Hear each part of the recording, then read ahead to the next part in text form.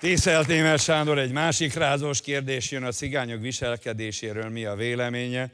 Miskolcon élek, ahol egyre több alulszocializált roma ember, csapatosan járnak közönségesek, hogyan viselkedjen velük a keresztény ember Anikó. Hát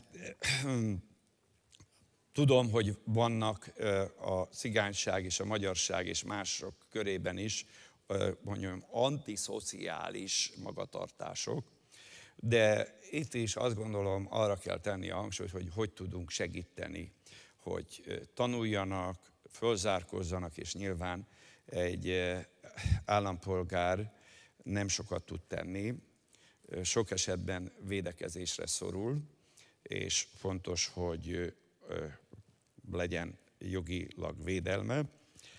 De én azt gondolom, hogy én ezt tapasztalom, hogy nagyon-nagyon sok változás, pozitív változás történt a romák között, minden ellenkező híreszteléssel szemben.